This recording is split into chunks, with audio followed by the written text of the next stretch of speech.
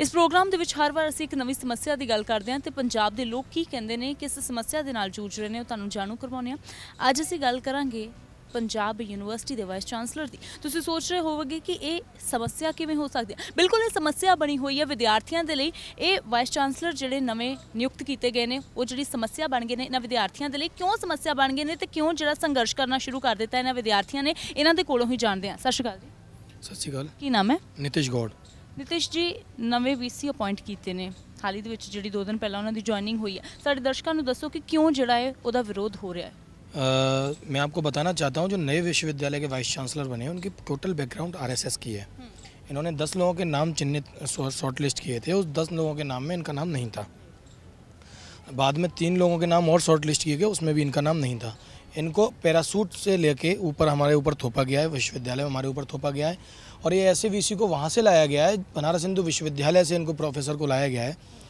UGC के जो नियम है वो ये कहते हैं कि वाइस चांसलर किसी भी व्यक्ति को जब बनाया जाता है, जैसे प्रोफेसरशिप का 10 साल का उसी स्टेट का अनुभव होता है। ये यूजीसी का नियम है। लेकिन नियम को ताक पर रख के ये किसके खास आदमी हमें पता है। किस, इनकी शासन में किसके साथ पकड़ा ये भी हमें पता है। किस मंत्री के खास चहेते हैं ये भी हमें पता है।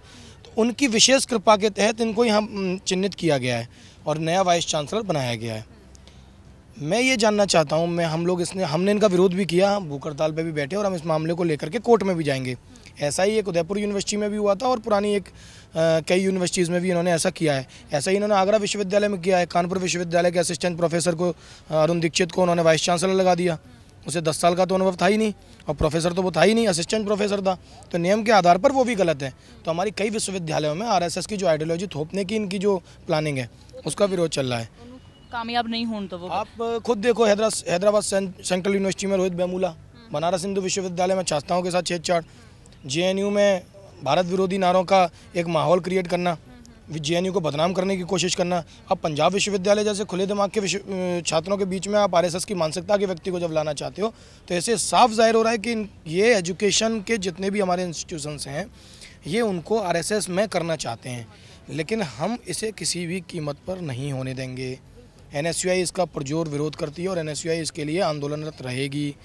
वाइस चांसलर अगर अपनी हट पर रहेंगे आरएसएस वाले अपनी हट पे रहेंगे ये सरकार अगर अपनी हट पे रहेगी तो हम भी अपनी जिद पर कायम रहेंगे ਅ, ਇਹਨਾਂ ਨੇ ਗੱਲ ਕੀਤੀ ਕਿ ਬਹੁਤ ਸਾਰੇ ਸੂਬਿਆਂ ਦੇ ਵਿੱਚ ਇਹ ਜਹੀ ਵਿਚਾਰਧਾਰਾ ਵਾਲੇ ਜਿਹੜੇ ਆ ਉਹ ਪ੍ਰੋਫੈਸਰ ਤੋਂ ਲੈ ਕੇ ਵੀਸੀ ਤੋਂ ਲੈ ਕੇ ਹਰ ਕੋਈ ਥਾਪਿਆ ਗਿਆ ਹੈ ਤੇ ਹੁਣ ਉਹੀ ਕੋਸ਼ਿਸ਼ ਹੈ ਪੰਜਾਬ ਦੇ ਵਿੱਚ ਵੀ ਉਹ ਸਾਰੀ ਵਿਚਾਰਧਾਰਾ ਜਿਹੜੀ ਥੋਪਣ ਦੀ ਕੋਸ਼ਿਸ਼ ਕੀਤੀ ਜਾ ਰਹੀ ਹੈ ਕਿੰਨਾ ਕੁ ਲੱਗਦਾ ਹੈ ਕਿ ਅਸਰ ਪੈਂਦਾ ਹੈ ਵਿਦਿਆਰਥੀਆਂ ਦੇ ਉੱਪਰ ਅਜਿਹੀ ਮਾਨਸਿਕਤਾ ਵਾਲੇ ਲੋਕ ਜਦੋਂ ਸਾਡੇ ਸਿਰ ਦੇ ਉੱਪਰ ਆਣ ਕੇ ਬੈਠ ਜਾਂਦੇ ਨੇ ਮੈਮ ਜਿਵੇਂ ਸਾਡੇ ਇੰਚਾਰਜ ਸਰ ਨੇ ਨਿਤਿਸ਼ ਗੌੜ ਜੀ ਯੂਪੀ ਤੋਂ ਚੰਡੀਗੜ੍ਹ ਦੇ ਇੰਚਾਰਜ ਨੇ ਇਹਨਾਂ ਨੇ ਬਰੀਫਲੀ ਤੁਹਾਨੂੰ ਦੱਸਿਆ ਜੋ ਵੀ ਅਸੀਂ ਐਜੀਟੇਸ਼ਨ ਕੀਤਾ ਮੈਂ ਗੁਰਜੋਤ ਸੰਧੂ ਸਟੇਟ ਪ੍ਰੈਜ਼ੀਡੈਂਟ ਚੰਡੀਗੜ੍ਹ 4 ਦਿਨ ਇੰਡੈਫੀਨਿਟ ਹੰਗ ਸਟ੍ਰਾਈਕ ਤੇ ਬੈਠਾ। ਇੱਕ ਮੇਰੇ ਨਾਲ ਹੋਰ ਮੁੰਡਾ ਸੀ ਕਾਤੀਨ ਰਨੋਟ ਯੂਆਈਟੀ ਡਿਪਾਰਟਮੈਂਟ ਤੋਂ।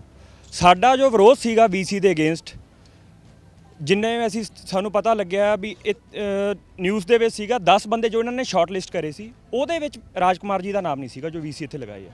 ਉਸ ਤੋਂ ਬਾਅਦ ਜਿਹੜੀ ਇਹਨਾਂ ਦੀ ਸਿਲੈਕਸ਼ਨ ਕਮੇਟੀ ਸੀਗੀ ਤਿੰਨ ਬੰਦਿਆਂ ਦੀ ਉਹਦੇ ਵਿੱਚ ਵੀ ਕਿ ਪ੍ਰੋ ਵੀਸੀ ਇੱਕ ਕਿਵੇਂ ਵੀਸੀ ਨੂੰ ਅਪਾਇੰਟ ਕਰ ਸਕਦਾ, ਉਹਦੇ ਕੋਲ ਕੀ ਅਥਾਰਟੀ ਹੈ? ਛੋਟੀ ਡੈਜ਼ਿਗਨੇਸ਼ਨ ਵਾਲਾ ਬੰਦਾ ਹਾਇਰ ਅਥਾਰਟੀ ਨੂੰ ਕਿੱਦਾਂ ਅਪਾਇੰਟ ਕਰ ਸਕਦਾ? ਉਹਦਾ ਵੀ ਅਸੀਂ ਇੱਕ ਪੁਆਇੰਟ ਸੀਗਾ। ਉਸ ਤੋਂ ਬਾਅਦ ਜਿਹੜਾ ਤੀਜਾ ਪੁਆਇੰਟ ਸੀਗਾ ਵੀ 10 ਸਾਲ ਦਾ ਉਸ ਬੰਦੇ ਨੂੰ ਐਕਸਪੀਰੀਅੰਸ ਉਸੇ ਸਟੇਟ ਦਾ, ਉਸੇ ਯੂਨੀਵਰਸਿਟੀ ਦਾ ਹੋਣਾ ਚਾਹੀਦਾ। ਉਹ ਵੀ ਇਹਨਾਂ ਦਾ ਨਹੀਂ ਹੈਗਾ।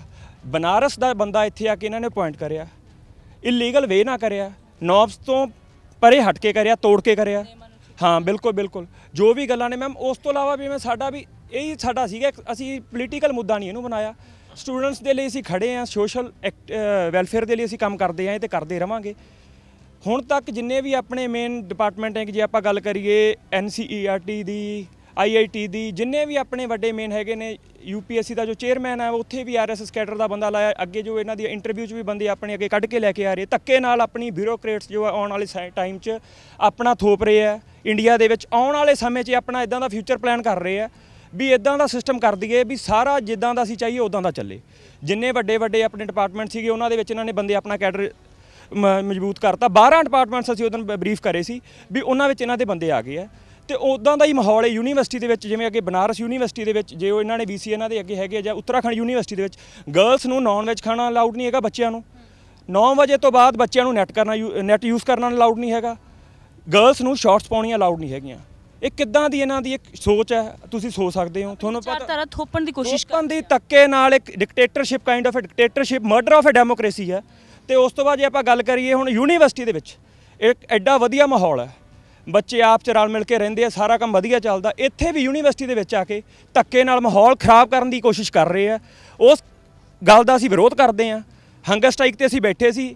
ਡੀਨ ਸਰ ਨੇ ਸਾਨੂੰ ਵਿਸ਼ਵਾਸ ਦਿਵਾਇਆ, ਸੈਨੇਟ ਦੇ ਥਰੂ ਵਾਈਸ ਚਾਂਸਲਰ ਨੂੰ ਇਹ ਸੈਟ ਆਪਣੀ ਲੈਟਰ ਫਾਰਵਰਡ ਕਰਨਗੇ।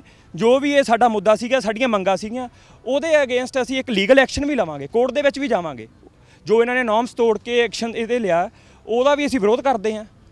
ਤੇ ਆਉਣ ਵਾਲੇ ਸਮੇਂ 'ਚ ਜੇ ਇਹਦੇ ਅਗੇਂਸਟ ਕੋਈ ਐਕਸ਼ਨ ਨਾ ਹੋਇਆ ਵਾਈਸ ਚਾਂਸਲਰ ਆਫ ਇੰਡੀਆ ਨੂੰ ਵੀ ਅਸੀਂ ਲੈਟਰ ਪਾਵਾਂਗੇ, ਕੋਸ਼ਿਸ਼ ਕਰਾਂਗੇ ਮਿਲਣ ਦੀ ਵੀ ਵੀ ਇੱਥੋਂ ਦਾ ਜੋ ਇਹਨਾਂ ਨੇ ਨਿਯਮ ਨੋਰਮਸ ਭੰਗ ਕਰੇ ਆ, ਤੋੜੇ ਆ, ਉਹਦੇ ਬਾਵਜੂਦ ਇਹਦੇ ਅਗੇਂਸਟ ਜੇ ਐਕਸ਼ਨ ਨਾ ਹੋਇਆ ਸੰਘਰਸ਼ ਸਾਡਾ ਇਹ ਨਹੀਂ, ਇਹ ਨਾ ਸੋਚੋ ਵੀ ਅਸੀਂ ਇੱਕ ਵਾਰੀ ਉੱਠ ਗਏ ਤਾਂ ਫਿਰ ਇਦਾਂ ਦਾ ਕੁਝ ਹੋਣਾ ਨਹੀਂ। ਇਹ ਤਾਂ ਅਸੀਂ ਹਫਤਾ ਵੇਟ ਕਰਾਂਗੇ 10 ਦਿਨ ਵੇਟ ਕਰਾਂਗੇ, ਸਾਡਾ ਇਦਾਂ ਦਾ ਸਿਸਟਮ ਅਸੀਂ ਜੰਗ ਇਦਾਂ ਹੀ ਜਾਰੀ ਰਹੂਗੀ, ਜਦੋਂ ਤੱਕ ਸਟੂਡੈਂਟਸ ਦੇ ਵਿੱਚ ਧੱਕਾਸ਼ਾਹੀ ਚੱਲਦੀ ਰਹੂਗੀ। ਅਸੀਂ ਇਸ ਚੀਜ਼ ਨੂੰ ਬਿਲਕੁਲ ਮਨਜ਼ੂਰ ਨਹੀਂ ਕਰਦੇ, ਬਿਲਕੁਲ ਇਸ ਚੀਜ਼ ਨਾਲ ਸਹਿਮਤ ਨਹੀਂ ਹੈਗੇ ਵੀ ਇਦਾਂ ਦਾ ਸਿਸਟਮ ਇੱਥੇ ਹੋਣਾ ਚਾਹੀਦਾ। ਹੁਣ ਕੱਲ ਦੀ ਸਟੇਟਮੈਂਟ ਸੀਗੀ ਵੀਸ ਨਹੀਂ ਲੱਗਣ ਦੇ ਬਾਅਦ ਆਉਣ ਸਾਰੀ ਆਪਦਾ ਰੰਗ ਵਿਖਾਤਾ। ਯੂਨੀਵਰਸਿਟੀ ਦੇ ਵਿੱਚ ਜੇ ਕਹਿੰਦੇ ਕੋਈ ਵੀ ਤੁਸੀਂ ਐਜੀਟੇਸ਼ਨ ਜਾਂ ਆਪਣੇ ਧਰਨੇ ਤੇ ਬੈਠਣਾ ਸਭ ਤੋਂ ਪਹਿਲਾਂ ਮੈਮੋਰੈਂਡਮ ਦਿਓ ਜੇ ਬਿਨਾਂ ਇਨਫੋਰਮ ਕੀਤੇ ਤੁਸੀਂ ਇਦਾਂ ਦਾ ਕੁਝ ਕਰ ਨਹੀਂ ਸਕਦੇ। ਜਿਵੇਂ ਅਸੀਂ ਹੁਣ ਲਾਸਟ ਮੈਂ ਮੈਂ ਹੰਗਰ ਸਟ੍ਰਾਈਕ ਤੇ ਬੈਠਾ ਸੀ ਕਾਨਫਰੰਸ ਕਰਕੇ ਅਸੀਂ ਇੰਡੈਫੀਨਿਟ ਹੰਗਰ ਸਟ੍ਰਾਈਕ ਸ਼ੁਰੂ ਕਰੀ। ਪਰ ਜਿਹੜਾ ਆਉਣ ਵਾਲੇ ਟਾਈਮ 'ਚ ਇਹਨਾਂ ਨੇ ਕੱਲ ਇੱਕ ਰੂਲ ਪਾਸ ਕਰਿਆ ਵੀ ਜੇ ਤੁਸੀਂ ਇਹ ਆਪਣਾ ਇਦਾਂ ਦਾ ਕੋਈ ਵੀ ਸਟੈਪ ਐਜੀਟੇਸ਼ਨ ਕਰਨਾ ਦੱਸੇ ਬਿਨਾ ਹਾਂ ਦੱਸੇ ਬਿਨਾ ਨਹੀਂ ਕਰਨਾ ਸਾਨੂੰ ਇਨਫੋਰਮ ਕਰਕੇ ਕਰਨਾ ਵੀ ਸਾ ਪਹਿਲਾਂ ਹੀ ਵੇਰੋ ਪਹਿਲੇ ਦਿਨ ਤੋਂ ਹੀ ਜਿਹੜੀ ਆ ਉਹ ਜੋ ਥੋਪਣਾ ਸ਼ੁਰੂ ਕਰ ਦਿੱਤਾ ਤੇ ਪਹਿਲੇ ਦਿਨ ਤੋਂ ਹੀ ਜਿਹੜਾ ਅਗੇਂਸਟ ਬੱਚਿਆਂ ਦੇ ਜਿਹੜਾ ਹੈ ਹਾਂ ਐਂਟੀ ਸਟੂਡੈਂਟਸ ਇਹਨਾਂ ਦੀ ਜੋ ਵੇਵ ਇਹਨਾਂ ਨੇ ਸ਼ੁਰੂ ਕਰਤੀ ਹੈ ਤੇ ਤੁਸੀਂ ਦੇਖ ਸਕਦੇ ਹੋ ਉਹਦਾ ਅਸਰ ਹਜੇ ਪਰਸੋਂ ਅਪਾਇੰਟਮੈਂਟ ਹੋਈ ਹੈ ਤੇ ਪਰਸੋਂ ਹੀ ਇਹਨਾਂ ਨੇ ਕੁਰਸੀ ਸਮਾਈ ਆ ਪਰਸੋਂ ਅਸੀਂ ਇਹਨਾਂ ਦਾ ਕਾਲੇ ਝੰਡੇ ਨਾਲ ਵਿਰੋਧ ਕੀਤਾ। ਇਸ 3 ਸਾਲ ਦੇ ਵਿੱਚ ਪਤਾ ਨਹੀਂ ਤੁਸੀਂ ਕੀ ਹਿਸਾਬ ਲਗਾ ਸਕਦੇ ਕੀ- ਕੀ ਹੋ ਸਕਦਾ। ਬਿਲਕੁਲ ਪੰਜਾਬ ਯੂਨੀਵਰਸਿਟੀ ਦੀ ਜਦੋਂ ਅਸੀਂ ਗੱਲ ਕਰਦੇ ਹਾਂ ਤੇ ਅ, ਇਕੱਲੇ ਆਪਣੇ ਪੰਜਾਬ ਦੇ ਵਿੱਚ ਨਹੀਂ ਪੂਰੇ ਦੇਸ਼ਾਂ ਵਿਦੇਸ਼ਾਂ ਦੇ ਵਿੱਚ ਇੱਕ ਨਾਮ ਤੋਂ ਜਾਣੀ ਜਾਂਦੀ ਹੈ ਪੰਜਾਬ ਯੂਨੀਵਰਸਿਟੀ ਆਪਣੇ ਖੁੱਲੇ ਮਾਹੌਲ ਦੇ ਕਰਕੇ ਕਿ ਇੱਥੇ ਕਿਸੇ ਤਰ੍ਹਾਂ ਦੀ ਜਿਹੜੀ ਕੋਈ ਵਿਚਾਰਧਾਰਾ ਨਹੀਂ ਥੋਪੀ ਜਾਂਦੀ ਹਰ ਕੋਈ ਜਿਹੜਾ ਹੈ ਆਪਣੇ ਢੰਗ ਦੇ ਨਾਲ ਜਿਉਂਦਾ ਹੈ ਪਰ ਕੀ ਲੱਗਦਾ ਹੈ ਕਿ ਹੁਣ ਇੱਕ ਪਾਰਟਿਕੂਲਰ ਇੱਕ ਵਿਅਕਤੀ ਨੂੰ ਤੁਹਾਡੇ ਉੱਪਰ ਲਿਆ ਕੇ ਥੋਪ ਦਿੱਤਾ ਜਾਂਦਾ ਹੈ ਜਿਹਨੇ ਪਹਿਲੇ ਦਿਨ ਤੋਂ ਹੀ ਜਿਹੜੇ ਆ ਆਪਣੇ ਰੂਲਸ ਬਦਲਨੇ ਸ਼ੁਰੂ ਕਰ ਦਿੱਤੇ ਆ ਕੀ ਸੋਚਦੇ ਹੋ Hi, my name is Sachin Galav. I am the president of Punjab University. And I feel कि सबसे बड़ी चीज़ है कि हमने स्टूडेंट्स को मोबलाइज़ करना चाहते थे कि इस इशू के अगेंस्ट आरएसएस और बीजेपी से ये जो वीसी आए हैं, ये वाइस चांसलर पैराशूट कैंडिडेट है। आपने मेरे साथी साथियों ने सभी आपके सामने फैक्ट्स रख दिए हैं। दस कैंडिडेट में इनका नाम नहीं था। प्रो वीसी कैसे एक इंटरव्यू ले सकता है वीसी का? ऊपर से सबसे बड़ी बात है कि इनके हम आज स्टूडेंट्स को मोबिलाइज इसलिए कर रहे हैं कि जो कुछ बीएचयू में हुआ, जो कुछ देश की यूनिवर्सिटीज़ में हो रहा है इंडिया के अंदर 80 परसेंट यूनिवर्सिटीज़ में वीसी आरएसएस और बीजेपी के लग रहे हैं रिकमेंडेशन से। इनके रिलेशन मध्य प्रदेश के मिनिस्टर्स के साथ है, इनके रिलेशन मध्य प्रदेश के आरएसएस और बीजेपी के लोगों के साथ है, जिस बेस पे ये यहाँ वीसी लगे हैं। यहाँ पे कल को ऐसे डिसीज़न आएँगे कि सात बजे के बाद लड़कियों का बाहर घूमना बंद है। जैसे लड़कियाँ आज फ्रीडम से बैठी हैं या बात कर रही हैं घूम रही हैं ये ऐसे डिसीज़न लेके आएँगे कि यहाँ ये कुछ नहीं होगा। एंटी स्टूडेंट एंटी स्टूडेंट क्योंकि इनकी विचारधारा है कि ये चीज़ें थोपना चाहते हैं। ये लोगों पर थोपते हैं ये लोगों से पूछते नहीं है कि स्टूडेंट्स हो मैं आपका सदस्य हूँ मैं आपका ही साथी हूँ मैं सतारह हज़ार बच्चों का वी हूँ आपसे ज़्यादा मेरे से ज़्यादा आपकी चलेगी। बट ये अपनी चलाने यहाँ आए हैं। इनको इस तो चीज़ बंदा सारे तो रूल करने की कोशिश करें इसका कोई अधिकार नहीं और धीरे धीरे आप देखना एडमिनिस्ट्रेशन और स्टाफ के अंदर इतने चेंजेस आएँगे कि जो भी जितने भी डीन्स होंगे वार्डन्स होंगे वो सब इनके लगेंगे। वो सब इन्होंने एकेडमिक्स बेस पे चूज़ नहीं करेंगे ये पॉलिटिकल बेस पे चूज़ करेंगे। वीसी की पोस्ट एक एकेडमिक पोस्ट होती है वो पॉलिटिकल पोस्ट नहीं होती। उसको पॉलिटिकल एबिलिटी देख के आप नहीं लगा सकते। वो एकेडमिक्स एबिलिटी देख के लगाते हैं। और इनकी क्या एकेडमिकल एबिलिटीज़ हैं बाकी के दस कैंडिडेट से क्या ज़्यादा है जो इनको चूज़ की दिया कर दिया गया। और हमने इनके अगेंस्ट प्रोटेस्ट करने का जो जिम्मा ठाना है वो अभी रुका नहीं है। वो चलता रहेगा अलग अलग तरीक़ों से चलता रहेगा। काले झंडे दिखाए गए काले चार्ट दिखाए गए पूरी यूनिवर्सिटी में एक मैसेज भेजा गया कि कल को अगर संघर्ष करना पड़े तो हमारे साथ यूनिवर्सिटी में हज़ार दो हज़ार छात्र खड़े होंगे। तो उन्हें तो जोड़ा वा विद्यार्थियों का सहयोग मिल रहा है। मैम हर जगह they are supporting us because उनको पता है कि इंडिया फ्रीडम की ओर निकल रहा है। हम ऐसा देश नहीं है जो दबके रहना चाहता है। हमें फ्रीडम चाहिए। हम डेमोक्रेटिक पार्ट है कंट्री का और हम तो खुले विचारों के लोग हैं। पंजाब यूनिवर्सिटी का स्टूडेंट तो डिस्क्रिमिनेट नहीं करता लड़की लड़की के बीच में। और ये लोग वो, वो लोग हैं जो बोलते हैं कि रात को जो लड़कियाँ लाइब्रेरी में पढ़ेगी वही मॉरल है। ये वो लोग हैं कि लड़कियाँ और गाड़ी बराबर हैं। इनके लोगों की विचारधारा ये Manohar Lal Khattar CM of Haryana he saying कि लड़कियाँ और गाड़ियाँ बराबर हैं। जैसे गाड़ियों को गैराज में रखोगे तो उनको खरोंच नहीं आएगी। ऐसे ही लड़कियों को घर में रखना चाहिए ताकि उनको कोई कुछ ना हो। ऐसी मानसिकता, ऐसी सोच वाले लोग अगर यूनिवर्सिटी के कैंपस का हिस्सा भी हैं या संभाल रहे हैं तो हमारे लिए शर्मनाक बात है कि कहाँ का हम इक्वलिटी की बात करते हैं, कहाँ इक्विटी की बात करते हैं। और ये इक्वलिटी और इक्विटी क्या? ये तो मुझे लग रहा है कि मौका ही नहीं देना चाहते किसी को कि कोई इनके अगेंस्ट आवाज़ उठाए। और ये जो इन्होंने डिसीज़न लिया है कि एजिटेशन से पहले हमें बताओ। इससे बड़ी क्या हमारे मुँह पे कालिक होगी कि हम उन, हमें उनसे पहले बताना पड़ेगा, हम धरना देना चाह रहे हैं, सर, आपके खिलाफ धरना देंगे, आप तैयार हो जाइए। हम क्यों ऐसी चीज़ को पहले बताएँ? तो इसलिए मुझे लगता है कि ऐसे वीसी को ना कि अपॉइंट इनको कैंसिल कर देना चाहिए ਤੇ ਅੱਜ ਪੰਜਾਬ ਬੋਲਦਾ ਦੇ ਵਿੱਚ ਪੰਜਾਬ ਯੂਨੀਵਰਸਿਟੀ ਦੇ ਵਿਦਿਆਰਥੀ ਬੋਲ ਰਹੇ ਨੇ ਰੋਸ ਪਾਇਆ ਜਾ ਰਿਹਾ ਹੈ ਨਵੇਂ ਵੀਸੀ ਦੇ ਖਿਲਾਫ ਜਿਹੜਾ ਇਹਨਾਂ ਦੇ 2 ਦਿਨ ਪਹਿਲਾਂ ਇੱਥੇ ਨਿਯੁਕਤ ਕੀਤਾ ਗਿਆ ਹੈ ਉਸ ਵੀਸੀ ਦੇ ਖਿਲਾਫ ਜਿਹੜਾ ਇਹ ਵਿਦਿਆਰਥੀ ਧਰਨੇ ਵੀ ਦੇ ਚੁੱਕੇ ਨੇ ਪ੍ਰਦਰਸ਼ਨ ਵੀ ਕਰ ਚੁੱਕੇ ਨੇ ਤੇ ਜਿਹੜੀ ਮੰਗ ਹੈ ਕਿ ਉਸ ਵੀਸੀ ਨੂੰ ਹਟਾਇਆ ਜਾਵੇ ਕਿਉਂਕਿ ਜਿਹੜੇ ਨੋਰਮਸ ਨੇ ਉਹਨਾਂ ਦੇ ਵੀ ਪੂਰਾ ਜਿਹੜਾ ਛਿੱਕੇ ਤੇ ਟੰਗ ਕੇ ਨਿਯਮਾਂ ਨੂੰ ਉਸ ਵੀਸੀ ਨੂੰ ਨਿਯੁਕਤ ਕੀਤਾ ਗਿਆ ਕਿਉਂ ਕੀਤਾ ਗਿਆ ਹੈ ਨਿਯੁਕਤ ਕਿਉਂ ਜਿਹੜਾ ਇਹ ਇੱਥੇ ਥੋਪਿਆ ਜਾ ਰਿਹਾ ਵਿਦਿਆਰਥੀਆਂ ਤੇ ਇਸ ਦਾ ਜਿਹੜਾ ਵਿਦਿਆਰਥੀਆਂ ਦੇ ਵਿੱਚ ਰੋਸ ਪਾਇਆ ਜਾ ਰਿਹਾ ਹੈ ਕੁੜੀਆਂ ਦੇ ਨਾਲ ਗੱਲਬਾਤ ਕਰਦੇ ਹਾਂ ਕਿਉਂਕਿ ਬਹੁਤ ਸਾਰੀਆਂ ਅਜਿਹੀਆਂ ਕਹਿੰਦੇ ਨੇ ਕਿ ਨਵੀਆਂ ਚੀਜ਼ਾਂ ਓਵੀਸੀ ਵੱਲੋਂ ਕੀਤੀਆਂ ਜਾਣਗੀਆਂ ਜਿਹੜੀਆਂ ਕੁੜੀਆਂ ਤੇ ਜਿਹੜੀਆਂ ਲਾਗੂ ਹੋਣਗੀਆਂ ਕੀ ਨਾਮ ਹੈ Uh, my name is Pahul Kaur and I'm the NSY Girls Wing in charge. और जो ये नया जो नए हमारे वीसी आए हैं जिस पॉलिटिकल आइडियोलॉजी से ये ताल्लुक़ रखते हैं। हम उसका असर पहले बहुत सारी यूनिवर्सिटीज़ में देख चुके हैं। बनारस हिंदू यूनिवर्सिटी इलाहाबाद जेएनयू हैदराबाद हर जगह पे। इवन यूनिवर्सिटीज़ क्या हर जगह पे जहाँ पे बीजेपी स्ट्रांग है हम वहाँ पे गर्ल्स का जो यू you नो know, जिनका स्टेटस है इतना पुअर होते हुए हम ऑलरेडी देख चुके हैं देखते आ रहे हैं। अब बनारस की बात आप मानोगे नहीं किस तरह की वाहियात घटिया डिस्गस्टिंग पॉलिसीज़ वो उस यूनिवर्सिटी पे अपनी थोपी जा रही है? पहली बात, हमने बनारस में जो असॉल्ट हुआ था मास असल्ट उसके बारे में हम जानते हैं। वहाँ पे रूल है कि लड़कियाँ रात को यूनिवर्सिटी की लाइब्रेरी यूज़ नहीं कर सकती। उनका कहना है कि रात को जो लड़कियाँ लाइब्रेरी जाती हैं पढ़ने के लिए, वो इमोरल है। उनका, वो डिसाइड करेंगे कि लड़कियाँ क्या पहनेंगी, क्या खाएँगी, ये नहीं पहनना। नॉन वेजिटेरियन नहीं होनी चाहिए लड़कियाँ, क्योंकि जो लड़कियाँ नॉन वेजिटेरियन होती हैं, वो इमोरल होती हैं। इस तरह की कई सारी बेतुकी पॉलिसीज़ जो यू नो आरएसएस हर जगह पे इम्प्लीमेंट करा है हमें डर है कि पंजाब यूनिवर्सिटी अब हमने कुछ टाइम पहले यू नो जो टाइमिंग्स हैं गर्ल्स के हॉस्टल्स के वो काफ़ी एक्सटेंड करवाए अगर ये लोग यहाँ पे आते हैं ये लोग तो पाँच बजे के बाद बोलेंगे कि लड़कियाँ बाहर नहीं जा सकती ਯਾਨੀ ਕਿ ਫਿਰ ਉਹਨਾਂ ਯੂਨੀਵਰਸਿਟੀ ਦੇ ਵਿੱਚ ਪੰਜਾਬ ਯੂਨੀਵਰਸਿਟੀ 'ਚ ਕੋਈ ਫਰਕ ਨਹੀਂ ਰਹਿ ਜਾਵੇਗਾ ਜਿੱਥੇ ਇਹ ਸਭ ਕੁਝ ਹੋ Exactly. ਰਿਹਾ हमारे यहाँ पे जो कल्चर है वो बहुत डिफरेंट है और आरएसएस जो इस तरह की पॉलिसीज है वो तब भी नहीं होती रही जब ब्रिटिश रूल था तब भी, तब freedom you know there was no freedom कोई इक्वालिटी नहीं थी, कोई फंडामेंटल राइट्स नहीं थे, लेकिन फिर भी इस तरह की जो यू नो पॉलिसीज़ हैं, किसी यूनिवर्सिटी में ये नहीं बोला जाता था कि लड़कियाँ ये कर सकती हैं और क्या नहीं कर सकती। और दूसरी बात, अभी जैसे पहले भी हमारे स्टेट प्रेसिडेंट ने बताया है कि यू नो अभी परसों वो आए हैं और कल ये रूल निकाला गया है कि कोई भी प्रोटेस्ट करने से पहले बताओ। यानी कि यूनिवर्सिटी में इतने सारे इश्यूज़ हो रहे हैं फंडिंग नहीं आ रही सीट्स की इतनी प्रॉब्लम है इंफ्रास्ट्रक्चर का हर एक हर एक आप नूको कॉर्नर में देखोगे हर एक जगह पे इतनी प्रॉब्लम्स है। उनका पहले उनकी पहली जो पॉलिसी थी वो उसको क्योर करने के लिए नहीं आई थी। वो उन्होंने बोला कि कोई आवाज़ नहीं उठाएगा। और मैं आपको दूसरी बात ये बताना चाहूँगी कि बनारस में उनका एक पॉलिसी है कि लड़कियों से एडमिशन के टाइम पे अ, एक अंडरटेकिंग साइन करवाई जाती है कि आप आने वाले समय में अपने टेन्योर में जब जब भी यू नो आप स्टूडेंट हैं आप कोई भी प्रोटेस्ट नहीं करोगे। यानी कि आप अपनी कोई आवाज़ नहीं उठा सकते। हम जो कहेंगे आपको करना पड़ेगा। इस तरह का माहौल हमने कभी पंजाब में और पंजाब यूनिवर्सिटी में कभी देखा ही नहीं है हम तो इसको बिल्कुल टॉलरेट करने वाले नहीं हैं अगर अगर इस वाइस चांसलर को लगता है कि वो ये ऐसी पॉलिसीज़ हम पे थोपेगा और हम मान लेंगे तो उसका रहना यहाँ पे मुश्किल कर देंगे लेकिन अपनी आवाज़ को कभी हम दबा के नहीं रखेंगे थैंक यू ਬਹੁਤ ਬਹੁਤ ਬਹੁਤ ਸ਼ੁਕਰੀਆ ਤੇ ਬਹੁਤ ਅ, ਇੱਕ ਚੰਗੀ ਆਵਾਜ਼ ਜਿਹੜੀ ਹੈ ਕੁੜੀਆਂ ਦੀ ਉੱਠਦੀ ਹੈ ਤਾਂ ਬਹੁਤ ਵਧੀਆ ਲੱਗਦਾ ਹੈ ਕਿ ਜਦੋਂ ਆਪਣੇ ਹੱਕ ਦੇ ਲਈ ਜਿਹੜੀਆਂ ਕੁੜੀਆਂ ਨੇ ਉਹ ਵੀ ਆਵਾਜ਼ ਚੁੱਕਦੀਆਂ ਨੇ ਅ, ਬਹੁਤ ਵਾਰੀ ਕਿਹਾ ਜਾਂਦਾ ਹੈ ਕਿ ਕੁੜੀਆਂ ਇਸ ਕਰਕੇ ਪੰਜਾਬ ਯੂਨੀਵਰਸਿਟੀ ਦੇ ਵਿੱਚ ਆਉਂਦੀਆਂ ਨੇ ਕਿਉਂਕਿ ਬਾਕੀ ਅ, ਥਾਵਾਂ ਦਾ ਮਾਹੌਲ ਜਿਹੜਾ ਹੈ। ਉਹ ਥੋੜਾ ਜਿਹਾ ਹੁੰਦਾ ਹੈ ਕੰਜ਼ਰਵੇਟਿਵ ਹੁੰਦਾ ਹੈ, ਪਰ ਇੱਥੇ ਲੋਕ ਆਉਂਦੇ ਨੇ ਇਸ ਕਰਕੇ ਕਿਉਂਕਿ ਕੁੜੀਆਂ ਨੂੰ ਹਰ ਤਰ੍ਹਾਂ ਦੀ ਫ੍ਰੀडम ਮਿਲਦੀ ਹੈ। ਪਰ ਉਹੀ ਹਾਲਾਤ ਜਿਹੜੇ ਪੰਜਾਬ ਯੂਨੀਵਰਸਿਟੀ ਦੇ ਬਣਾਉਣ ਦੀ ਕੋਸ਼ਿਸ਼ ਕੀਤੀ ਜਾ ਰਹੀ ਹੈ, ਜਿਹੜੀ ਬਨਾਰਸ ਯੂਨੀਵਰਸਿਟੀ ਦੇ ਤੇ ਹੋਰ ਦਿੱਲੀ ਦੇ ਵਿੱਚ ਬਹੁਤ ਸਾਰੀਆਂ ਯੂਨੀਵਰਸਿਟੀਆਂ ਦੇ ਵਿੱਚ ਹੈ। ਕੀ ਲੱਗਦਾ ਹੈ ਕਿ ਕੁੜੀਆਂ ਦੀ ਆਵਾਜ਼ ਨੂੰ ਦਬਾਉਣ ਦੀ ਕੋਸ਼ਿਸ਼ ਕੀਤੀ ਜਾ ਰਹੀ ਹੈ? ਮੈਮ ਹਾਂਜੀ, ਵਾਕਈ ਇਹ ਕੁੜੀਆਂ ਨੂੰ ਦਬਾਉਣ ਦੀ ਕੋਸ਼ਿਸ਼ ਕੀਤੀ ਜਾ ਰਹੀ ਮੈਮ ਇੱਥੇ ਮੈਜੋਰਿਟੀ ਜਿਹੜੀਆਂ ਸਟੂਡੈਂਟਸ ਨੇ, ਉਹ ਕੁੜੀਆਂ ਹੀ ਨੇ। ਇਸੇ ਲਈ ਆਉਂਦੀਆਂ ਕਿਉਂਕਿ ਇੱਥੇ ਫ੍ਰੀ ਸਪਿਰਿਟ ਹੈਗਾ ਕੁੜੀਆਂ ਤੇ ਮੁੰਡਿਆਂ 'ਚ ਬਿਲਕੁਲ ਫ਼ਰਕ ਨਹੀਂ ਕੀਤਾ ਜਾਂਦਾ। ਮੈਮ ਇੱਥੇ ਸਿਵਲ ਸਰਵਿਸਿਜ਼ ਲਈ ਰਾਤ ਤੱਕ, ਇੱਥੇ 3-4 ਵਜੇ ਤੱਕ ਕੁੜੀਆਂ ਤੇ ਮੁੰਡੇ ਦੋਨੋਂ ਬੈਠ ਕੇ ਹੀ ਪੜ੍ਹਦੇ ਨੇ,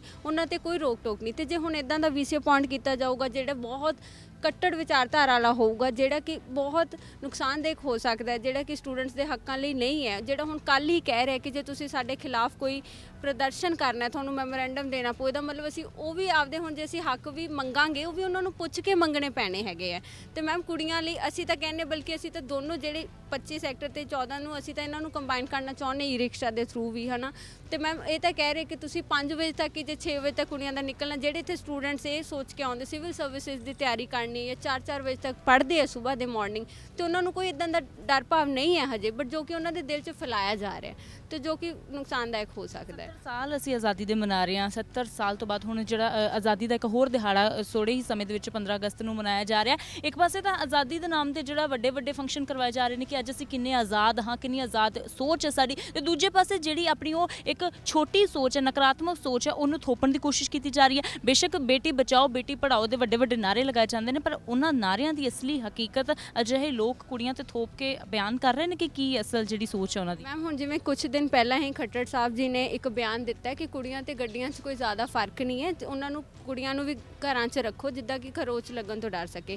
ਮੈਮ ਉਹ ਤੁਹਾਨੂੰ ਹੀ ਦੱਸਦਾ ਕਿ ਉਹ ਕੀ ਸੋਚ ਰੱਖਦੇ ਨੇ। ਉੱਤੋਂ ਇੱਕ ਤੁਸੀਂ ਨਾਰਾ ਲਾਉਣੇ ਲੋਕਾਂ ਨੂੰ ਗੁੰਮਰਾਹ ਕਰਦੇ ਹੋ ਵੋਟਾਂ ਲਈ ਕਿ ਬੇਟੀ ਬਚਾਓ, ਬੇਟੀ ਪੜਾਓ ਇਦਾਂ ਦਾ। ਤੇ ਇੱਕ ਪਾਸੇ ਤੁਸੀਂ ਇਦਾਂ ਦੇ ਕੁੜੀਆਂ ਨੂੰ ਗੱਡੀਆਂ ਨਾਲ ਕੰਪੇਅਰ ਕਰਦੇ ਹੋ ਮੈਮ ਤੇ ਮੈਮ ਜਿੱਦਾਂ ਦੇ ਹੁਣ ਇਦਾਂ ਦੇ ਵੀਸੀਜ਼ ਅਪਾਇੰਟ ਕਰਕੇ ਆਰਐਸਐਸ ਕੱਟੜ ਬਾਅਦ ਨੂੰ ਜਿਹੜੇ ਕਿ ਡਿਜ਼ਰਵਿੰਗ ਹੀ ਨਹੀਂ ਜਿਹੜੇ ਕਿ 10ਵੀਂ 10 ਬੰਦਿਆਂ ਦੀ ਜਿਹੜੀ ਲਿਸਟ ਸੀ ਉਹਦੇ 'ਚ ਉਹਨਾਂ ਦਾ ਨਾਮ ਵੀ ਨਹੀਂ ਸੀ, ਸਿੱਧਾ ਤੁਸੀਂ ਉਹਨਾਂ ਨੂੰ ਅਪਾਇੰਟ ਕਰ ਰਹੇ ਹੋ ਨਾਨ ਡਿਜ਼ਰਵਿੰਗ ਕੈਂਡੀਡੇਟ ਨੂੰ। ਤਾਂ ਮੈਮ ਉਹਦੇ ਤੋਂ ਤੁਹਾਨੂੰ ਇਹੀ ਹੈ ਤੇ ਸਾਡੇ ਸਟੇਟ ਪ੍ਰੈਜ਼ੀਡੈਂਟ ਐਨਐਸਯੂਆਈ ਦੇ ਗੁਰਜੋਤ ਸਿੰਘ ਸੰਧੂ ਹੰਗਰ ਸਟ੍ਰਾਈਕ ਤੇ ਬੈਠੇ ਨੇ 4 ਦਿਨ। ਕੁੜੀਆਂ ਦੇ ਹੱਕਾਂ ਲਈ ਹੀ ਮੁੰਡੇ ਲੜ ਰਹੇ ਨੇ ਇੱਥੇ ਆ ਕੇ ਤੇ ਉਹਦੇ ਨਾਲ ਸਾਡਾ ਇੱਕ ਸਟੂਡੈਂਟ ਵਰਕਰ ਵੀ ਬੈਠੇ ਨੇ। ਤੇ ਮੈਮ ਸਾਡੇ, ਉਹਨਾਂ ਨੇ, ਹੁਣ ਅਸੀਂ ਜੇ ਇਹ ਸਾਡੀ ਗੱਲ ਨਹੀਂ ਮੰਨਣਗੇ ਤੇ ਅਸੀਂ ਇੱਕ ਕੋਰਟ ਦੇ ਥਰੂ ਆਪਦੇ ਇੱਕ ਜਿਹੜੀ ਡਿਜ਼ਰਵਿੰਗ ਲਿਸਟ ਉਹ ਕਢਵਾਵਾਂਗੇ ਆਰਟੀਆਈ ਪਾਵਾਂਗੇ ਕਿ ਇਹਨਾਂ ਨੂੰ ਕਿਸ ਨੁਮਾਇੰਦੇ ਤੇ ਬੇਸਿਸ ਤੇ ਰੱਖਿਆ ਗਿਆ। ਪੰਜਾਬ ਯੂਨੀਵਰਸਿਟੀ ਦੇ ਵਿਦਿਆਰਥੀ ਬੋਲ ਰਹੇ ਨੇ, ਉਸ ਨਾਜਾਇਜ਼ ਧੱਕੇਸ਼ਾਹੀ ਦੇ ਖਿਲਾਫ ਜਿਹੜੀ ਉਹਨਾਂ ਦੇ ਨਾਲ ਕੀਤੀ ਜਾ ਰਹੀ ਹੈ, ਉਹ ਨਵਾਂ ਵੀਸੀ ਜਿਹੜਾ ਇੱਕ ਲਿਆ ਕੇ ਉਹਨਾਂ ਦੇ ਸਿਰ ਦੇ ਉੱਪਰ ਬਿਠਾ ਦਿੱਤਾ ਗਿਆ ਹੈ। ਆਰਐਸਐਸ ਦੀ ਵਿਚਾਰਧਾਰਾ ਹੈ ਉਸ ਵੀਸੀ ਦੀ, ਇਹਨਾਂ ਵਿਦਿਆਰਥੀਆਂ ਦਾ ਕਹਿਣਾ ਹੈ ਤੇ ਉਸ ਵਿਚਾਰਧਾਰਾ ਨੂੰ ਆਪਣੇ ਉੱਪਰ ਲਾਗੂ ਹੋਣ ਤੋਂ ਰੋਕਣ ਦੇ ਲਈ ਇਹਨਾਂ ਵਿਦਿਆਰਥੀਆਂ ਨੇ ਸੰਘਰਸ਼ ਵੀ ਕਰਨਾ ਸ਼ੁਰੂ ਕਰ ਦਿੱਤਾ ਹੈ। ਤੇ ਇਹ ਵੀ ਕਿਹਾ ਹੈ ਕਿ ਜੇਕਰ ਡੀਨ ਨੇ ਹਜੇ ਆਸ਼ਵਾਸਨ ਦਿੱਤਾ ਹੈ, ਪਰ ਜੇ ਉਹ ਆਸ਼ਵਾਸਨ ਜਿਹੜਾ ਉਹ ਆਪਣੇ ਆਸ਼ਵਾਸਨ ਤੇ ਅੱਗੇ ਕਾਰਵਾਈ ਨਹੀਂ ਕਰਦੇ, ਤਾਂ ਕੋਰਟ ਦਾ ਜਿਹੜਾ ਰਾਹ, ਅਦਾਲਤ ਦਾ ਰੁਖ ਵੀ ਜਿਹੜਾ ਅਪਣਾਉਣਗੇ ਪਰ ਕਿਸੇ ਆਰਐਸਐਸ ਜਿਹੜੀ ਬੀਜੇਪੀ ਵਿਚਾਰਧਾਰਾ ਨੂੰ ਆਪਣੇ ਉੱਪਰ ਥੋਪਣ ਨਹੀਂ ਦੇਣਗੇ। ਕੀ ਨਾਮ ਹੈ? ਵਿਜੇਜੀਤ। ਵਿਜੇ ਨਵੇਂ ਵੀਸੀ ਤੁਹਾਡੇ ਅਪਾਇੰਟ ਹੋਏ ਨੇ 2 ਦਿਨ ਪਹਿਲਾਂ ਤੇ ਆਂਦੇ ਸਾਰੀ ਫਰਮਾਨ ਕਰ ਦਿੱਤਾ ਹੈ ਕਿ ਪ੍ਰੋਟੈਸਟ ਨਹੀਂ ਕੋਈ ਕਰ ਸਕਦਾ। ਪ੍ਰੋਟੈਸਟ ਕਰਨ ਤੋਂ ਪਹਿਲਾਂ ਯੂ ਸ਼ੁਡ ਇਨਫੋਰਮ ਤੇ ਹੋਰ ਆਉਣੀ ਤਿੰਨ ਵਾਲੇ 3 ਸਾਲ ਦੇ ਸਮੇਂ 'ਚ ਹੋਰ ਆਉਣ ਵਾਲੇ ਸਮੇਂ 'ਚ ਹੌਲੀ ਹੌਲੀ ਬਹੁਤ ਸਾਰੇ ਚੇਂਜਸ ਜਿਹੜੇ ਨੇ ਤੁਹਾਡੇ ਉੱਪਰ ਥੋਪੇ ਜਾਣਗੇ। ਸੋ ਇਹਦੇ ਖਿਲਾਫ ਤੁਸੀਂ ਸ਼ੁਰੂਆਤ ਦੇ ਵਿੱਚ ਹੀ ਜਿਹੜਾ ਸੰਘਰਸ਼ ਕਰ ਦਿੱਤਾ ਹੈ। ਕਿਉਂ? ਮੈਮ ਇੱਕ ਸਟੂਡੈਂਟ ਜੋ ਹੁੰਦਾ ਹੈ ਸਟੂਡੈਂਟ ਆਪਦੇ ਰਾਈਟ ਲਈ ਲੜ ਸਕਦਾ ਹੈ, ਨਾ ਕਿ ਉਹ ਕਿਸੇ ਨੂੰ ਕਿਸੇ ਤੋਂ ਪੁੱਛ ਕੇ ਨਹੀਂ ਇਹ ਚੀਜ਼ ਕਰੂਗਾ ਵੀ ਸਾਡੇ ਕੀ ਰਾਈਟਸ ਨੇ। ਯੂਨੀਵਰਸਿਟੀ 'ਚ ਅਸੀਂ ਪੜ੍ਹ ਰਹੇ ਹਾਂ, ਸਾਨੂੰ ਸਭ ਪਤਾ ਵੀ ਸਾਡੇ ਕੀ ਰਾਈਟਸ ਨੇ ਤੇ ਅਸੀਂ ਕਿਸ ਚੀਜ਼ ਲਈ ਲੜ ਸਕਦੇ ਹਾਂ। ਉਸ ਚੀਜ਼ ਲਈ ਸਾਨੂੰ ਕਿਸੇ ਤੋਂ ਪੁੱਛਣ ਦੀ ਜਾਂ ਕਿਸੇ ਤੋਂ ਪਰਮਿਸ਼ਨ ਲੈਣ ਦੀ ਲੋੜ ਨਹੀਂ ਹੈਗੀ। ਮੇਰੇ ਅਕੋਰਡਿੰਗ ਤਾਂ ਇੱਕ ਸਟੂਡੈਂਟ ਵੈਲ ਐਜੂਕੇਟਿਡ ਹੈ, ਜੋ ਯੂਨੀਵਰਸਿਟੀ ਆ ਗਿਆ, ਉਹ ਇੰਨਾ ਕੁ ਤਾਂ ਸਮਝਦਾਰ ਹੈਗਾ ਵੀ ਕਿ ਉਹ ਆਪਦੇ ਕਿਸ ਹੱਕ ਲਈ ਲੜ ਸਕਦਾ ਤੇ ਕੀ ਚੀਜ਼ ਜਾਇਜ਼ ਹੈ ਤੇ ਕੀ ਚੀਜ਼ ਨਾਜਾਇਜ਼ ਹੈ। ਬੀਜੇਪੀ ਦੀ ਆਲਮੋਸਟ ਅਸੀਂ ਦੇਖਿਆ ਕਿ ਸਾਰੇ ਸੂਬਿਆਂ ਦੇ ਵਿੱਚ ਸਰਕਾਰ ਹੈ ਮੈਜੋਰਿਟੀ ਬੀਜੇਪੀ ਦੇ। ਤਾਂ ਕੀ ਲੱਗਦਾ ਹੈ ਕਿ ਬੀਜੇਪੀ ਆਰਐਸਐਸ ਜਿਹੜੀ ਹੈ, ਦੇਸ਼ ਦੇ ਵਿੱਚ ਤਾਂ ਕਿਤੇ ਨਾ ਕਿਤੇ ਰਾਜ ਕਰਨ ਦਾ ਸੁਪਨਾ ਕਰ ਹੀ ਰਹੀ ਹੈ, ਪਰ ਉਹੀ ਹੁਣ ਵਿਦਿਅਕ ਅਦਾਰਿਆਂ ਨੂੰ ਵੀ ਆਪਣੇ ਅੰਡਰ ਕਰਨ ਦੀ ਕੋਸ਼ਿਸ਼ ਕਰ ਰਹੀ ਹੈ?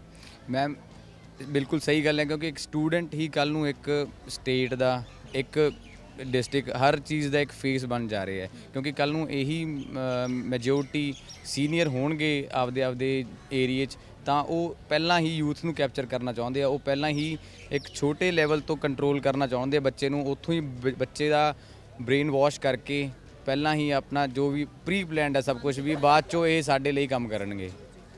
ਸ਼ੁਕਰੀਆ। ਬਹੁਤ ਸਾਰੀਆਂ ਦੇਸ਼ ਦੇ ਵਿੱਚ ਯੂਨੀਵਰਸਿਟੀਆਂ ਨੇ, ਜਿਹੜੀਆਂ ਆਰਐਸਐਸ ਬੀਜੇਪੀ ਦੀ ਵਿਚਾਰਧਾਰਾ ਦੇ ਨਾਲ ਚੱਲ ਵੀ ਰਹੀਆਂ ਨੇ, ਤੇ ਬਹੁਤ ਸਾਰੀਆਂ ਅਜਿਹੀਆਂ ਅਦਾਰੇ ਨੇ ਜਿੱਥੇ ਅਸੀਂ ਬਹੁਤ ਸਾਰੀਆਂ ਘਟਨਾਵਾਂ ਵੀ ਸੁਣਦੇ ਹਾਂ ਕਿ ਆਏ ਦਿਨ ਹੁੰਦੀਆਂ ਨੇ। ਤੇ ਕੀ ਲੱਗਦਾ ਕਿ ਉਹ ਅਜਿਹਾ ਮਾਹੌਲ ਹੁਣ ਪੰਜਾਬ ਦੇ ਵਿੱਚ ਵੀ ਬਣਾਉਣ ਦੀ ਕੋਸ਼ਿਸ਼ ਕੀਤੀ ਜਾ ਰਹੀ ਹੈ? ਉਹੀ ਪੈਰ ਪੰਜਾਬ ਦੇ ਵਿੱਚ ਵੀ ਸਥਾਪਿਤ ਕਰਨ ਦੀ ਕੋਸ਼ਿਸ਼ ਹੋ ਰਹੀ ਹੈ? ਹੁਣ ਦੇਖੋ, ਮੇਰਾ ਮੰਨਣਾ ਵੀ ਜਿਹੜੇ ਸਟੂਡੈਂਟ ਉਹਨਾਂ ਨੂੰ ਘੱਟੋ ਘੱਟ ਆਦਾ ਜਿਹੜਾ ਉਹਨਾਂ ਦੀ ਰਾਈਟਸ ਹੈ, ਉਹਦਾ ਡਿਮਾਂਡ ਕਰਨ ਦਾ ਉਹਨਾਂ ਨੂੰ ਹੱਕ ਮਿਲਣਾ ਚਾਹੀਦਾ ਤੇ ਜੋ ਉਹਨਾਂ ਦੇ ਵਿਊਜ਼ ਹੈ ਤੇ ਉਹ ਉਸ ਉਸ ਨਾਲ ਕਾਲਜ ਚੱਲਣਾ ਚਾਹੀਦਾ, ਨਾ ਕਿ ਜੋ ਇਹਨਾਂ ਨੂੰ ਜਿਹੜੇ ਆ ਵਾਈਸ ਵਾਈਸ ਚੇਅਰਮੈਨ ਜਾਂ ਚੇਅਰਸ ਤੇ ਜਾ ਕੇ ਬਹਿੰਦੇ ਆ, ਜਿਹੜੇ ਆਫਿਸ ਅੰਦਰ, ਦਫ਼ਤਰਾਂ ਅੰਦਰ, ਨਾ ਕਿ ਆ ਚਲਾਉਂਦੇ ਆ। ਮੈਨੂੰ ਲੱਗਦਾ ਮੈਂ, ਮੇਰਾ ਮੰਨਣਾ ਹੈ ਪਰਸਨਲੀ ਵੀ ਕਾਲਜ ਸਟੂਡੈਂਟ ਸਟੂਡੈਂਟਸ ਬਣਾਉਂਦੇ ਆ, ਨਾ ਕਿ ਆ ਜੋ ਇਹਨਾਂ ਨੂੰ ਲੀਡ ਕਰਦੇ ਆ, ਤੇ ਘੱਟੋ ਘੱਟ ਸਟੂਡੈਂਟ ਦੀ ਡਿਮਾਂਡ ਜਿਹੜੀਆਂ ਨੇ, ਉਹਨਾਂ ਨੂੰ ਇੱਕ ਇੰਪੋਰਟੈਂਸ ਦਿੱਤੀ ਜਾਣੀ ਚਾਹੀਦੀ ਆ, ਤੇ ਉਸ ਅਕੋਰਡਿੰਗ ਚਲਾਉਣਾ ਚਾਹੀਦਾ ਕਾਲਜ ਨਾ ਕਿ ਉਹਨਾਂ ਤੇ ਦਬਾਅ ਪ੍ਰੈਸ਼ਰ ਪਾ ਕੇ, ਤੇ ਉਹਨਾਂ ਦਾ ਮਤਲਬ ਫਿਊਚਰ ਨਾਲ ਉਹਨਾਂ ਦਾ ਖਿਲਵਾੜ ਨਹੀਂ ਹੋਣਾ ਚਾਹੀਦਾ। ਕਿਸੇ ਵਿਦਿਆਰਥੀ ਦੇ ਕਈ ਵਾਰ ਗੱਲ ਕਰਦੇ ਆ ਐਡਮਿਸ਼ਨ ਲੈਣ ਦੇ ਵਿੱਚ ਜਾਂ ਕਿਸੇ ਟਾਈਮ ਕੋਈ ਜੇਕਰ ਪ੍ਰੋਬਲਮ ਹੁੰਦੀ ਹੈ, ਤੇ ਉਸ ਸਮੇਂ ਨੋਰਮਸ ਦਾ ਬਹੁਤ ਜ਼ਿਆਦਾ ਰੌਲਾ ਪਾਇਆ ਜਾਂਦਾ ਹੈ ਕਿ ਨੋਰਮਸ ਦੇ ਇਹ ਚੀਜ਼ਾਂ ਅਲਾਉ ਨਹੀਂ ਕਰਦੀਆਂ ਤੇ ਅਸੀਂ ਤੁਹਾਡੀ ਜਿਹੜੀ ਹੈ ਇਹ ਹੈਲਪ ਨਹੀਂ ਕਰ ਸਕਦੇ। ਤੇ ਹੁਣ ਨਿਯਮਾਂ ਨੂੰ ਤਾਕ ਤੇ ਰੱਖ ਕੇ, ਛਿੱਕੇ ਤੇ ਟੰਗ ਕੇ ਜਿਹੜਾ ਇੱਕ ਤਾਂ ਇਹ ਜਿਹੜੇ ਨਵੇਂ ਵੀਸੀ ਨੇ 10 ਸਾਲ ਦਾ ਇੱਕ ਸਟੇਟ ਦੇ ਵਿੱਚ ਤੁਹਾਡੇ ਕੋਲ ਐਕਸਪੀਰੀਅੰਸ ਹੋਣਾ ਚਾਹੀਦਾ ਪੰਜਾਬ ਦੇ ਵਿੱਚ ਜੇ ਤੁਸੀਂ ਵੀਸੀ ਲੱਗਣਾ ਤਾਂ ਪੰਜਾਬ ਦੇ ਵਿੱਚ ਤੁਹਾਡੇ ਕੋਲ ਐਕਸਪੀਰੀਅੰਸ 10 ਸਾਲ ਦਾ ਹੋਣਾ ਚਾਹੀਦਾ ਇੱਕ ਤਾਂ ਇਹਨਾਂ ਦੇ ਕੋਲ ਐਕਸਪੀਰੀਅੰਸ ਨਹੀਂ ਹੈ। ਇੱਕ ਬਨਾਰਸ ਦੇ ਜਿਹੜੇ ਇੱਕ ਪ੍ਰੋਫੈਸਰ ਨੇ, ਉਹਨਾਂ ਨੂੰ ਆਣ ਕੇ ਇੱਥੇ ਵੀਸੀ ਬਣਾ ਦਿੱਤਾ ਜਾਂਦਾ ਸੋ ਕੀ ਲੱਗਦਾ ਹੈ ਕਿ ਨਿਯਮਾਂ ਨੂੰ ਜਿਹੜੀ ਬਿਲਕੁਲ ਕੋਈ ਪਰਵਾਹ ਨਹੀਂ ਕੀਤੀ ਜਾ ਰਹੀ ਜਿਹੜੀ ਪਾਵਰ ਹੈ ਪਾਵਰ ਦਾ ਅ, ਦੁਰਉਪਯੋਗ ਕੀਤਾ ਜਾ ਰਿਹਾ ਮੈਮ ਜੇ ਇਹਨੂੰ ਦੇਖਿਆ ਜਾਵੇ ਤਾਂ ਕੁਝ ਇਹੋ ਜਿਹਾ ਹੀ ਲੱਗਦਾ ਪਰ ਵੀ ਅੰਦਰਲੀ ਗੱਲਾਂ ਹੁਣ ਇਹਨਾਂ ਦੀ ਮਤਲਬ ਹੋਊਗੀ ਕੋਈ ਇਹਨਾਂ ਦੀ ਆਪ ਦੀ ਜਿਹੜੀਆਂ ਇਹਨਾਂ ਦੀ ਤਾਕਤਾਂ ਵੀ ਜਾਣਕਾਰੀਆਂ ਥਰੂ ਵੀ ਹੋ ਸਕਦਾ ਜੇ ਇੱਥੋਂ ਆਏ ਹੋਣ ਮੈਨੂੰ ਇਹਦੇ ਬਾਰੇ ਨਹੀਂ ਪਤਾ ਵੀ ਕਿੰਨੇ ਸਾਲ ਚਾਹੀਦੇ ਨੇ। ਜਿਵੇਂ ਤੁਸੀਂ ਦੱਸ ਰਹੇ ਹੋ ਜੇ ਐ ਕਰਕੇ ਹੈ ਤਾਂ ਬਿਲਕੁਲ ਗਲਤ ਗੱਲ ਆ ਬਹੁਤ ਜ਼ਿਆਦਾ ਗਲਤ ਗੱਲ ਆ ਵੀ ਜੇ ਨੋਰਮਸ ਜਿਹੜੇ ਵੈ- ਜਿਹੜੇ ਰੂਲਸ ਆ ਉਹ ਸਾਰਿਆਂ ਲਈ ਇੱਕੋ- ਇੱਕ ਬਰਾਬਰ ਇੱਕ ਸਮਾਨ ਆ ਤੇ ਮਤਲਬ ਇਦਾਂ ਦੀ ਗੱਲ ਨਹੀਂ ਹੋਣੀ ਚਾਹੀਦੀ।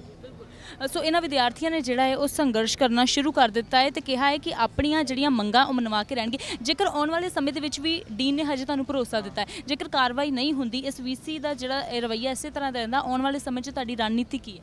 ਮੈਂ ਤੁਹਾਨੂੰ ਪਹਿਲਾਂ ਤਾਂ ਕਹਿੰਦਾ ਜਿਹੜੀ ਆਪਣੀ ਐਜੂਕੇਸ਼ਨ ਸਿਸਟਮ ਆਪਣੇ ਇੰਡੀਆ 'ਚ ਲੋੜ ਮੈਂ ਕਹਿਲੇ ਹੀ ਆਇਆ ਸੀ। ਬ੍ਰਿਟਿਸ਼ ਇੰਡੀਆ ਜਿਹੜੇ ਆਪਣੇ ਐਜੂਕੇਸ਼ਨ ਸਿਸਟਮ ਲੈ ਕੇ ਆਈ ਸੀ ਨਾ ਉਹ ਆਪਾਂ ਲੀਡਰ ਨਹੀਂ ਬਣਾਉਣਾ ਚਾਹੁੰਦੀ। ਕੋਈ ਲੀਡਰ ਨਾ ਹੋਵੇ ਆਪਣੇ ਇੰਡੀਆ 'ਚ ਉਹ ਆਪ ਲੀਡਰਸ਼ਿਪ ਸੀ। ਤੇ ਆਪਾਂ ਥੱਲੇ ਉਹਨੇ ਵਰਕ ਕਰਨਾ ਚਾਹੁੰਦੇ ਸੀ, ਠੀਕ ਹੈ? ਤੇ ਉਹਨਾਂ ਨੇ ਅਜਿਹਾ ਜਿਹਾ ਸਿਸਟਮ ਬਣਾਇਆ ਸੀ, ਤੁਸੀਂ ਆਪਣੇ ਉੱਥੇ ਵਰਕਰ ਹੀ ਵਰਕਰ ਬਣਾਉਣਗੇ, ਪੜ੍ਹਾ ਲਿਖਾ ਕੇ ਉਹ ਵਰਕਰ ਬਣਾਉਣਗੇ। ਤੇ ਅੱਜ ਆਪਣਾ ਆਜ਼ਾਦ ਤਾਂ ਆਪਾਂ ਨੂੰ ਕਿੰਨੇ ਸਾਲ ਹੋ ਗਏ? 70 80 ਸਾਲ ਹੋ ਗਏ ਆਪਾਂ ਨੂੰ ਆਜ਼ਾਦ ਹੋਏ। ਤੇ ਅੱਜ ਅਸੀਂ ਲੋਕੀ ਪ੍ਰੋਟੈਸਟ ਕਰਦੇ ਪ੍ਰੋਟੈਸਟ ਇਹੀ, ਮਤਲਬ ਪ੍ਰੋਟੈਸਟ ਕਰਦੇ ਆ ਇਹਦਾ ਮਤਲਬ ਇਹ ਹੈ ਕਿ ਆਪਣੀ ਡੈਮੋਕ੍ਰੇਸੀ ਹੈ। ਪ੍ਰੋਟੈਸਟ ਕਰਦੇ ਆ ਤਾਂ ਇੱਕ ਤਰ੍ਹਾਂ ਨਾਲ ਸਾਡੇ ਕੋਲ ਰਾਈਟ ਹੈ ਤੇ ਪ੍ਰੋਟੈਸਟ ਕਰਗੋ ਉਦੋਂ ਹੀ ਉਸ ਤੇ ਲੀਡਰਸ਼ਿਪ ਦੀ ਕੁਆਲਿਟੀ ਆਊਗੀ ਤੇ ਮਤਲਬ ਐਜੂਕੇਸ਼ਨ ਸਿਰਫ ਬੁੱਕ ਨਾਲ ਨਹੀਂ ਹੁੰਦੀ ਐਜੂਕੇਸ਼ਨ ਸਾਰੀ। ਐਜੂਕੇਸ਼ਨ ਵਾਸਤੇ ਆਪਾਂ ਨੂੰ ਚਾਹੀਦਾ ਹੈ ਕਿ ਆਪਾਂ ਇੱਕ ਡਿਸਪਲਿਨ ਹੋਣਾ ਚਾਹੀਦਾ ਹੈ ਲੀਡਰਸ਼ਿਪ ਕੁਆਲਿਟੀ ਹੁੰਦੀ ਹੈ, ਬਹੁਤ ਸਾਰੀ ਕੁਆਲਿਟੀਜ਼ ਹੋਣੀ ਚਾਹੀਦੀ ਹੈ, ਉਦੋਂ ਐਜੂ ਉਹ ਐਜੂਕੇਸ਼ਨ ਹੁੰਦੀ ਹੈ। ਤੇ ਉਸ ਐਜੂਕੇਸ਼ਨ ਦੇ ਪ੍ਰੋਟੈਸਟ ਜੇ ਇਹਨਾਂ ਨੇ ਕਿਹਾ ਵੀ ਪ੍ਰੋਟੈਸਟ ਅਸੀਂ ਕਰਨ ਨਹੀਂ ਦੇਵਾਂਗੇ, ਤੇ ਗਲਤ ਹੋ ਰਿਹਾ ਉਹਨੂੰ ਰੋਕਾਂ ਕਿਵੇਂ? ਤੇ ਦੂਜੀ ਗੱਲ ਤੁਸੀਂ ਕਹੀ, ਕਹਿੰਦੇ ਆਪਾਂ ਕੋਰਟ 'ਚ ਲੈ ਕੇ ਜਾਵਾਂਗੇ। ਕੋਰਟ 'ਚ ਤੁਸੀਂ ਵੇਖਿਆ, ਸੁਪਰੀਮ ਕੋਰਟ 'ਚ ਹੁਣੇ ਥੋੜੇ ਟਾਈਮ ਪਹਿਲਾਂ, ਉਹ ਜਿਹੜੇ ਆਪਣੇ ਜੱਜੀ ਸੀ, ਉਹਨਾਂ ਨੂੰ ਆਣਾ ਪਿਆ ਮੀਡੀਆ ਅੱਗੇ। ਇਹ ਬਹੁਤ ਆਪਣੇ ਦੇਸ਼ ਵਾਸਤੇ ਸ਼ਰਮਨਾਕ ਗੱਲ ਹੈ ਕਿ ਜਦੋਂ ਜੱਜੀ ਜੱਜੀ ਨੂੰ ਮੀਡੀਆ ਸਾਹਮਣੇ ਆਣਾ ਪੈ ਰਿਹਾ ਹੈ ਤੁਹਾਨੂੰ ਪਤਾ ਹੈ, ਅੱਜ ਇੱਥੇ ਡੀਐਸਪੀ ਆਈਜੀ ਇਹ ਬਣਨਾ ਸੌਖਾ ਹੈ, ਪਰ ਜੇ ਸੁਪਰੀਮ ਕੋਰਟ ਦਾ ਜੱਜ ਬਣਨਾ ਬਹੁਤ ਔਖਾ ਗੱਲ ਹੈ। 70 ਉਹ ਮਤਲਬ ਆਪਦੀ ਏਜ ਪੂਰੀ ਉਮਰ ਲੱਗ ਜਾਂਦੀ ਹੈ ਸੁਪਰੀਮ ਕੋਰਟ ਜੱਜ ਬਣਨ ਵਾਸਤੇ। ਕੋਈ ਨਹੀਂ ਚਾਹੂਗਾ ਕਿ ਉਹਦੀ ਰੈਪੂਟੇਸ਼ਨ ਡਾਊਨ ਹੋਏ ਮੀਡੀਆ ਅੱਗੇ ਆ ਕੇ।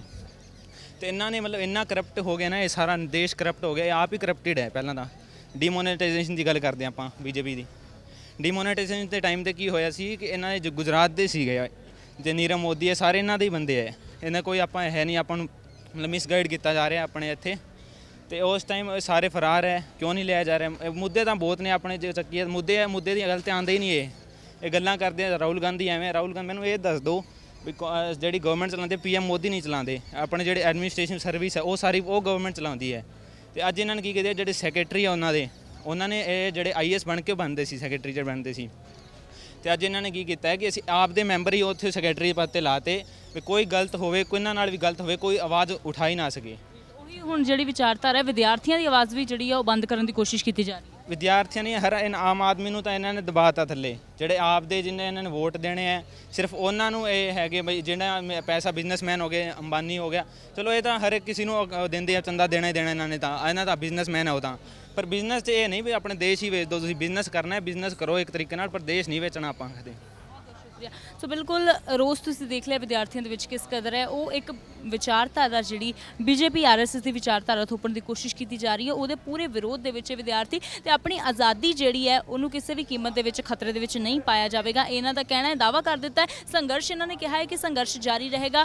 ਜਿਹੜਾ ਡੀਨ ਤੱਕ ਗੱਲ ਪਹੁੰਚਾਈ ਜਾਵੇਗੀ, ਡੀਨ ਤੋਂ ਬਾਅਦ ਜੇਕਰ ਉਸ ਤੋਂ ਬਾਅਦ ਵੀ ਸੁਣਵਾਈ ਨਾ ਹੋਈ, ਅਦਾਲਤ ਦੇ ਵਿੱਚ ਮਾਮਲਾ ਲੈ ਕੇ ਜਾਇਆ ਜਾਵੇਗਾ। ਫਿਲਹਾਲ ਦੇਖਣਾ ਹੋਵੇਗਾ ਕਿ ਇਹਨਾਂ ਵਿਦਿਆਰਥੀਆਂ ਦਾ ਸੰਘਰਸ਼ ਨੂੰ ਗੂਰ ਪੈਂਦਾ ਹੈ ਜਾਂ ਫਿਰ ਇਹ ਮਾਮਲਾ ਜਿਹੜਾ ਅਦਾਲਤ ਤੱਕ ਪਹੁੰਚਦਾ ਹੈ ਤੇ ਉਸ ਤੋਂ ਬਾਅਦ ਇਸ ਵੀਸੀ ਦੀ ਤਬਦੀਲੀ ਹੁੰਦੀ ਹੈ ਜਾਂ ਫਿਰ ਨਹੀਂ।